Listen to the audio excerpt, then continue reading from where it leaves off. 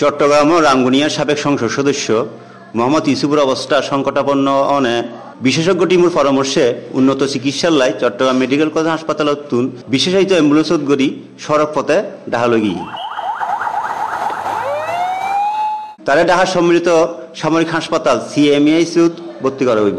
এর আগে সাবেক সংসদ সদস্য মোহাম্মদ ইউসুফ চট্টগ্রাম মেডিকেল কলেজ হাসপাতালত আইসিইউত আছিল। তারে চট্টগ্রাম মেডিকেল কলেজ হাসপাতালত ডাহা লই যাবার সময় উপস্থিত আছিল চট্টগ্রাম সিটি কর্পোরেশনের মেয়র আজম নাসির উদ্দিন। উত্তর জেলা আওয়ামী লীগের সভাপতি নুরুল আলম চৌধুরী, চট্টগ্রাম জেলা পরিষদের chairman M S Salam, Chittagong জেলা প্রশাসক Zillur Rahman, civil surgeon doctor Azizur Rahman সহ আরও বতকিয়া আসলে এটা এয়ার অ্যাম্বুলেন্সে নেওয়ার কথা ছিল, কিন্তু এয়ার অ্যাম্বুলেন্সে নেওয়াটা অত্যন্ত ঝুঁকিপূর্ণ, কোনোভাবে সম্ভব নয়।